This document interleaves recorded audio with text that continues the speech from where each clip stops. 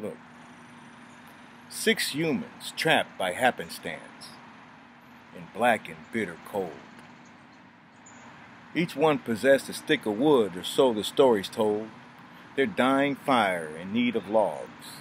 The first woman held hers back, for on the faces around the fire, she noticed one was black. The next man of this forlorn group saw one not of his church. He couldn't bring himself to give the fire his stick of birch. Well, the third man sat in tattered clothes. He gave his coat a hitch.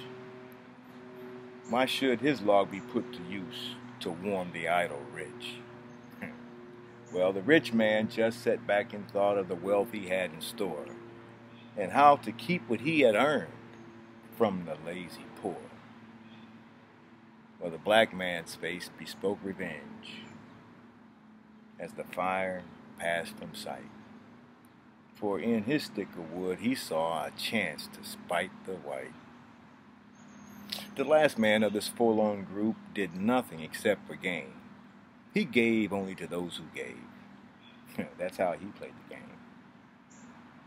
Now the logs held tight, in death stilled hands, was proof of human sin. They died, but they didn't die from cold without.